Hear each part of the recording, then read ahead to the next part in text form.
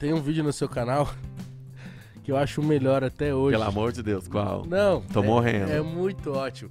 Você faz uma viagem, eu não lembro pra onde, e aí você vai falando com o pessoal da gringa, os seguranças, eu acho, aí você fala assim, ó. Paris, com a Tata. Nossa.